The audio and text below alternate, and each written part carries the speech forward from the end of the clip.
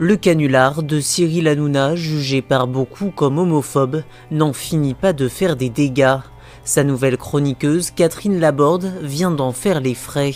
Bon soldat, l'ancienne présentatrice météo de TF1, a partagé sur son compte Twitter un lien renvoyant vers une pétition de soutien envers son nouveau patron.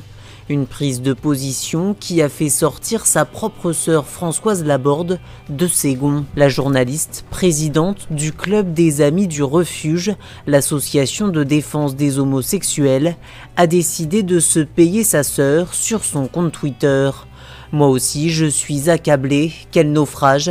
J'espère au moins que la soupe est bonne. Merci de ne pas confondre. Et surtout, je ne me produis pas dans TPMP, écrit l'ex-membre du CSA sur le réseau social. Une attaque virulente qui ne devrait pas améliorer une relation déjà détériorée depuis près d'une dizaine d'années. Depuis les révélations de Françoise Laborde dans son livre Ça va mieux en le disant en 2008, les deux sœurs ne s'adresseraient plus la parole.